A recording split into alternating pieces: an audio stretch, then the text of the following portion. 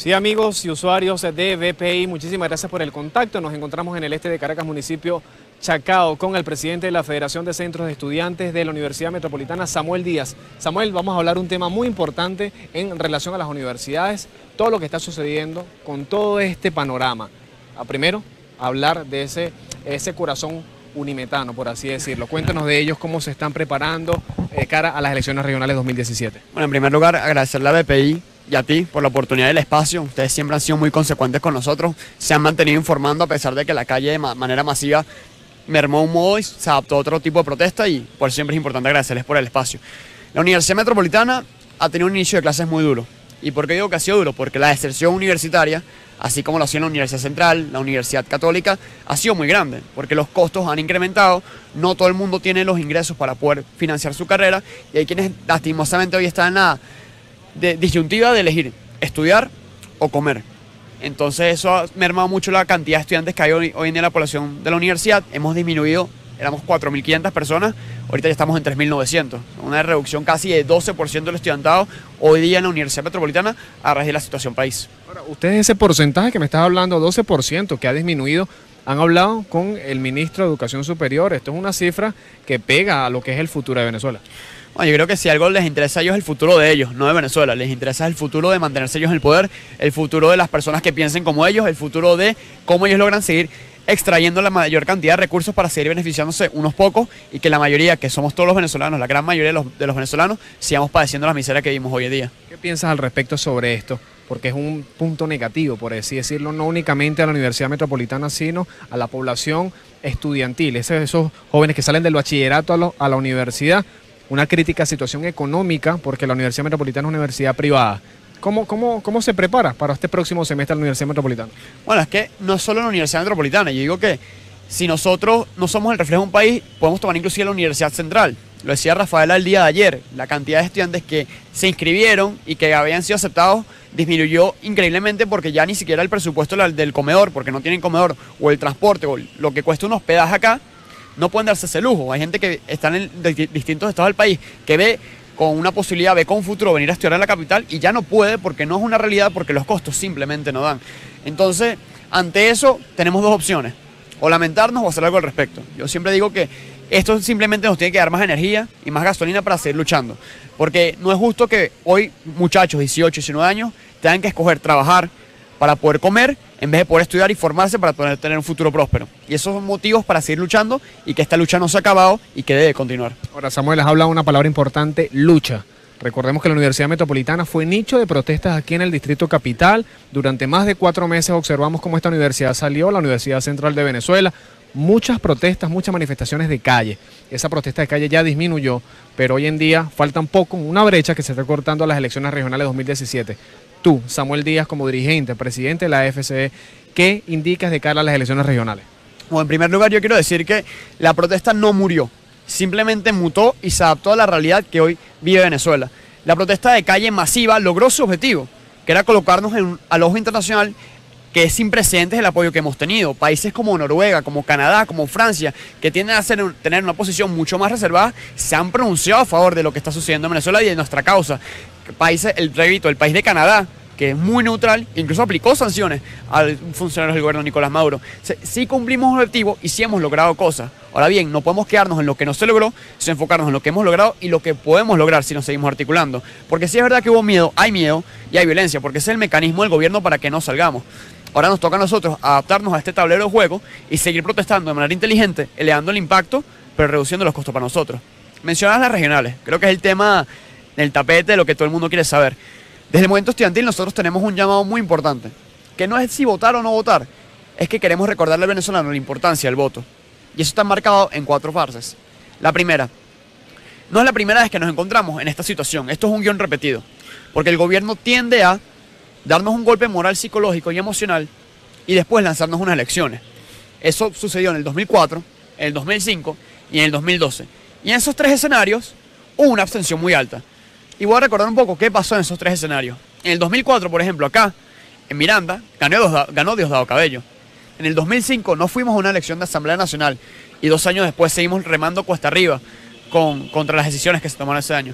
Y en el 2012 pasamos de tener ocho gobernaciones opositoras a tener tres que hubiesen hecho una gran diferencia cuatro meses después en las elecciones presidenciales. Esa es la primera parte, recordar qué ha pasado cuando nos hemos abstenido. En segundo lugar, el apoyo internacional que mencionaba anteriormente. Mucha gente nos pregunta, bueno, pero es que si vamos a votar la gente no nos, vamos a perder apoyo internacional, si apaga la calle lo vamos a perder. Todo lo contrario, el apoyo internacional es lo que hoy todavía sigue siendo el motor principal de una de las luchas. Porque si te pones a ver, la OEA, organismo que jamás había planteado esto, está pensando en llevar a Venezuela a la Corte Penal Internacional. La Organización de Naciones Unidas con el Consejo de Derechos Humanos sacó un informe en el cual pide profundizar porque cree y tiene sospechas muy fuertes de que se cometieron crímenes de lesa humanidad. El Congreso de Estados Unidos, la Unión Europea, son organismos que están esperando darnos un respaldo y que nosotros tenemos la oportunidad el 15 de octubre darles otra razón para seguir respaldándonos, demostrarles que somos mayoría, porque sería muy incongruente venir clamando que somos una mayoría la que tiene cambio y el 15 de octubre no reflejarlo. Y además no da una oportunidad de demostrar la ilegitimidad de la Asamblea Nacional Constituyente, porque ¿cómo le va a explicar el gobierno al mundo que sacaron 8 millones hace dos meses y después sacan 5? En tercer lugar, y esto sí es un llamado que hago reflexión, ¿a quién le, ¿a quién le conviene que nosotros no votemos?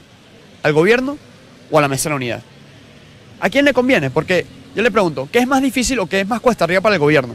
¿Tener 23 gobernaciones entregadas de bandeja de plata o tener 17, 18, 19 o 13? Porque ya Maduro dijo que lo mínimo que ellos esperan sacar, o sea, lo que esperan obtener son 10, que ya tenemos un techo, que de 13 para arriba es una victoria ya tener 18, 19 gobernaciones en contra, a las cuales van a tener que deslegitimar, a las cuales no les van a aprobar recursos, a los cuales a los gobernadores van a inhabilitarlos, a los cuales le van a destinar recursos para poner Corpo Zulia, Corpo Vargas, Corpo lo que sea, pero que se van a seguir desnudando a nivel internacional. Y en cuarto lugar es, al no votar yo no le estoy haciendo daño a la MUT, porque ese es otro de los grandes argumentos. No, porque estoy molesto con la MUT, no voy a ir a votar esto es como, y yo pongo este ejemplo porque creo que todos nos podemos relacionar. Cuando uno se pelea con su papá, con su mamá, y tenías la comida en el microondas o en la, en la mesa y no comías, no, tú decías no, porque le va a hacer daño a mi viejo. Te terminas haciendo daño a ti mismo. Es lo mismo de, no voy a votar porque estoy molesto con la MUD. Te está haciendo daño a ti, no a la mesa de la unidad. Y el mensaje más claro que les podemos dejar. El voto no garantiza el éxito, pero la abstención asegura el fracaso. Sí, ahora cómo se piensa articular el movimiento estudiantil luego de estos cuatro pasos que acabas de detallar muy minuciosamente a estas elecciones regionales, conjuntamente la Universidad Central de Venezuela, la UCAP, la Santa María y también la Metropolitana. ¿Cómo piensan hacer un despliegue, digo yo, ¿Qué, tienen planificado ustedes de cara a las elecciones? Bueno, nosotros venimos desplegados ya hace meses. Nosotros no nos dimos la tarea de irnos de vacaciones. Yo tuve la oportunidad de recorrer estados como Táchira, Zulia, Carabobo, Aragua, Vargas en la cual la realidad de Miranda es muy diferente. ¿Y por qué digo que es diferente? Ya que todos aquellos que nos ven que están acá recién en Miranda, nosotros tenemos ocho años con gobernador opositor. Y quizás lo damos por sentado. Pero en otros estados el gobernador es la figura más cercana de poder y de representación que hay en los estados. Pero el gobernador es el que reprime, es el que censura y es el que ataca. Entonces para que los estados se puedan realmente enfocar en dar la pelea, en la pelea contra Nicolás Maduro, tienen que salir de sus gobernadores. Y además de eso, no solo eso, en muchos estados la gobernación es el único, eh, único ente que provee trabajo. Y esos son trabajadores que hoy día están siendo obligados a votar, que son, hoy en día son obligados a marchar por el gobierno, que son amenazados de que no van a recibir el CLAP, de que son amenazados de que sus familias van a ser amedrentadas por colectivos, de si no apoyan al gobierno. Y tenemos la oportunidad hoy de cortar esas cadenas y seguir sumando gente a nuestra lucha y que puedan seguir luchando por nosotros. Eso es lo que hemos venido haciendo, es hablando con la gente entendiendo que hoy día la abstención o los que no quieren votar, los que hacen llamado a votar, son una minoría. ¿Y en qué sentido? Son una minoría porque la mayoría de la población venezolana, hay que decirlo, son de estratos bajos. Y en los estratos bajos, como cuando hemos ido, nos dice muy claro, y me perdonan el coloquialismo, chamos, son los cifrinos los que no quieren votar. Nosotros estamos claros de que tenemos que ir a votar porque yo no tengo tiempo para pensar si voto o no. Yo lo que tengo tiempo es para pensar de cómo consigo la comida para mis chamos, cómo consigo el dinero para pagarle los útiles escolares y cómo hago para que puedan tener comida y una casa donde dormir todas las noches. ¿Consideras que esas personas de la zona popular van a salir a votar este próximo 15? Estoy, estoy completamente convencido de eso. Porque es la, labor que hemos visto y la labor que hemos hecho. Y es por eso que nos encontramos en asambleas permanentes. Hoy, de hecho, de acá salgo a una asamblea en Los Naranjos a las 6 de la tarde, que hemos venido haciendo, más hemos ido a los mercados, hemos hecho casa por casa, porque el trabajo hormiguita es lo que hace falta. Y acá siempre pongo una analogía. Eh, durante los cuatro meses de protesta masiva eh, vivimos un pico emocional muy alto, en el cual todo el mundo estaba motivado, en el cual todo el mundo decía que quería salir a votar, en el cual todo el mundo quería participar.